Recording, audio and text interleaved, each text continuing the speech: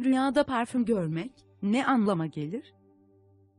Rüyada gördüklerinizi sizin için yorumluyoruz. Parfüm görmek bir anlam taşır mı? İyiye mi işarettir? Hayatımı etkiler mi? Rüyada parfüm görmek. Rüyada parfüm görmek, sıkmak parfüm sürmek, bir aşk yaşayacaksınız demektir.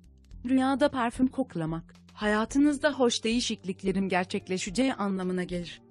Rüyada parfüm sürmek, sıkmak, dökmek, sevdiğiniz bir şeyi kaybedeceğinizin işaretidir. Devamını, Rüya Tabirleri kitabı.com'da okumak için aşağıdaki bağlantıya linki tıklayın.